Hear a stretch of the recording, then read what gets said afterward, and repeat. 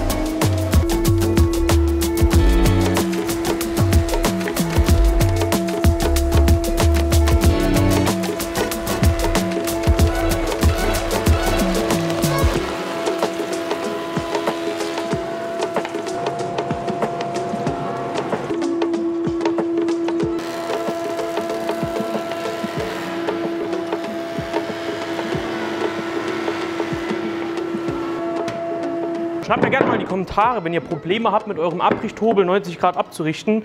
Da würde ich euch vielleicht mal in einem eigenen Video zeigen, wie man das gut tun kann. Da kann man so ein paar Kniffe für sich anwenden, weil ab und zu spinnt auch meine Abrichte, da hat sie irgendwie, keine Ahnung, keine Lust. Ähm, genau, da kann man sich aber so teilweise ein bisschen behelfen. Schreibt mal deswegen gerne mal in die Kommentare, wenn euch das interessiert. Wir können jetzt zunächst aber mal unsere Sitzfläche verleimen. Ba, ba, ba, ba, ba, ba. Wir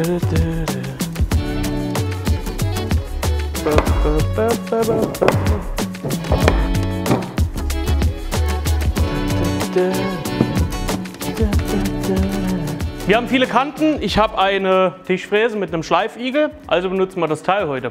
Ich habe mir extra für 100 Euro, 10, also knapp 100 Euro, irgendwie 94 Euro hat es meine ich gekostet, 10 Schleifaufsätze, also Schleifpapierhülsen gekauft. Knapp 100 Euro, brutal ist ein bisschen gröberes Korn, werden wir hier jetzt draufpacken. Da zeige ich euch einmal, wie das funktioniert. Also erstmal Vorschubapparillo rüber.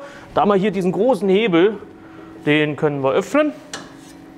Und jetzt kommen wir zu unserem Werkzeug. Gerade bei Eiche ist mir manchmal aufgefallen, dass, da, ja, dass die Oberfläche schnell so ein bisschen ankokelt. Und deswegen will ich hier ein bisschen gröberes und frisches Schleifpapier draufpacken. Ich kann übrigens die Spindel arretieren. Dann kann ich meine Mutter lösen. Jetzt kann das hier runter.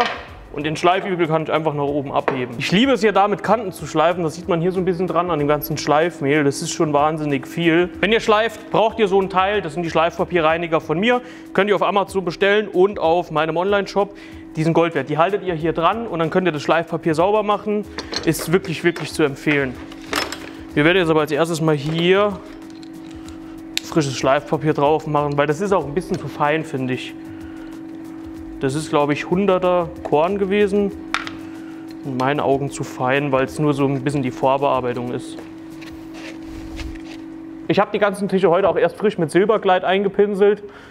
Also irgendwie wurde das Hobelbild auch sogar noch ein bisschen besser. Wir haben ja fast gar keine Ausrisse. Das heißt, ich werde das einfach mit 120er Korn mit dem Exzenterschleifer schleifen. Auch die Kanten, die sind so breit, da werde ich auch keine große Rundung reinschleifen. Also können wir die Teile jetzt auf Länge zuschneiden. Brauchen wir eigentlich gar nicht den Schleifigel. Let's go.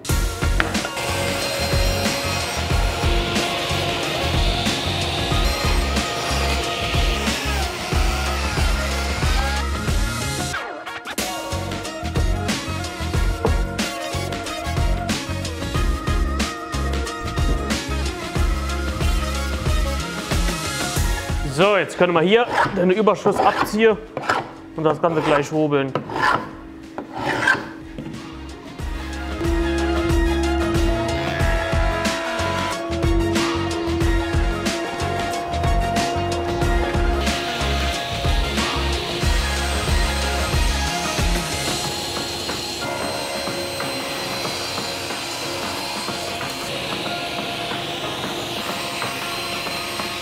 So, der Leim hat ein bisschen Zeit zum Abbinden. Jetzt können wir hier mal weitermachen.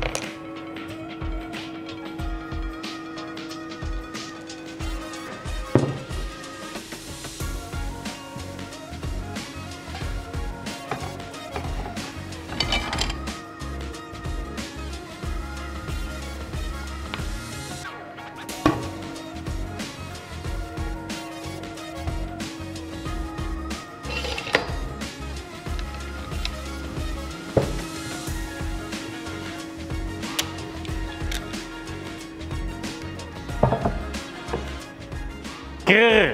Könnt ihr den Fehler erkennen? Ich habe bei einer Stelle die Flachdübelfräsung falsch gemacht.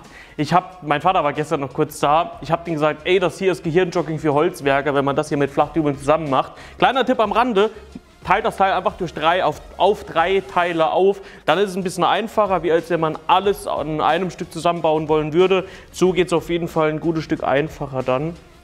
Ganz genau. Deswegen, ich werde jetzt hier oben Füller herstellen aus dem gleichen Holz. Einfach einmal auf die Stirnholzseite geachtet und einmal auf die Längsholzseite. Das werden wir jetzt einmal fix machen, damit wir die Stelle auch bereinigen können.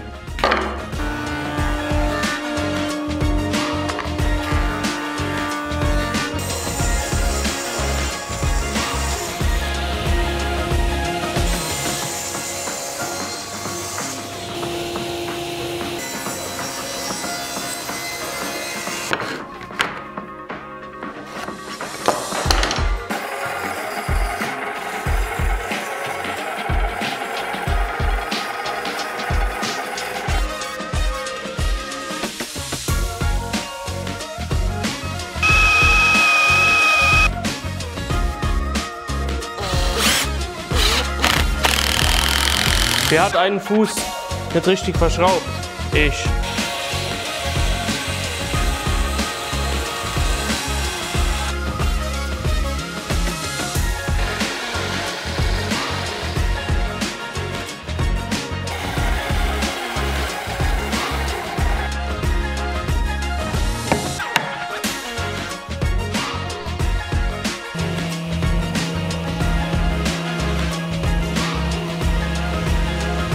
Wer hätte es gedacht, Leute? Jetzt kommt das Finish und wir werden hier das Konterholz-Holz-Finish benutzen. Einfach, weil es schnell und einfach geht, die Oberfläche gut geschützt ist und wir das Teil auch abends mitnehmen können, ohne dass unsere ganze Bude später nach Verdünnung riecht. Also, damit können wir jetzt einmal alles einreiben. Ich habe die Oberfläche übrigens nur bis 120 geschliffen. Das ist jetzt keine Oberfläche, wo viel Wasser oder sowas draufkommen wird, weswegen das hier auch ausreichend tut. Und genau, einfach den Überschuss abreiben und dann können wir es nämlich auch schon mitnehmen. Jetzt können wir das Ganze behandeln.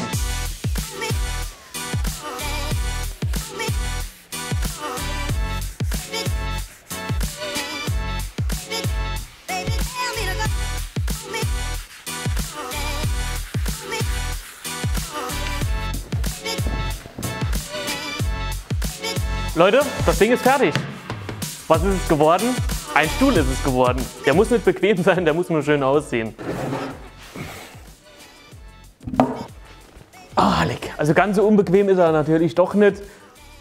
Dafür sieht er halt eben um Welten besser aus. Gesagt, ganz unbequem ist er wirklich nicht, ne? Stabil ist er übrigens auch. Man sollte halt jetzt nicht drauf kippeln. Ist eigentlich für keinen Stuhl gut. Natürlich habe ich mir ein bisschen Inspiration von Pinterest geholt. Da habe ich so die letzten Wochen und Monate immer mal so ein bisschen was gesammelt und das hier hat mir halt eben sehr, sehr gut gefallen und das wollte ich mir halt eben selber bauen. So Leute, ihr wisst jetzt, was es ist. Ein schicker Stuhl, der auch bestimmt super gut geeignet sein wird, um die Pflanzen von der Freundin drauf zu packen. Also Leute, tschüss!